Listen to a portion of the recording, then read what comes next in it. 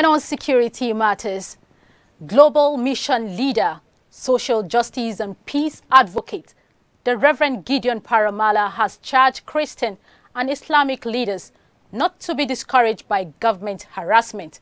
asking them to continue to speak the truth to power in the face of what he described as insincerity of government. Para-Mallam, who is also the president and CEO of Gideon Para-Mallam Peace Foundation, insisted that prophetic voices must never be sacrificed at the altar of political expediency.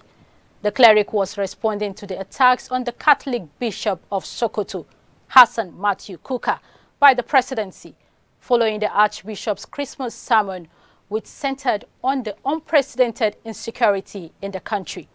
He condemned the cruel attack on Kukah by agents of government, pointing out that the real questions for Nigerians remains, should they be battling the COVID-19 pandemic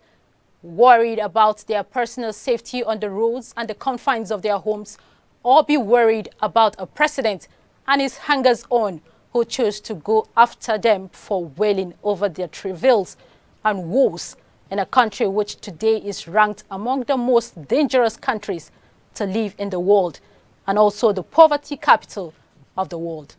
He regretted that instead of listening and appreciating Bishop Kukah and others for having the courage to tell them the truth,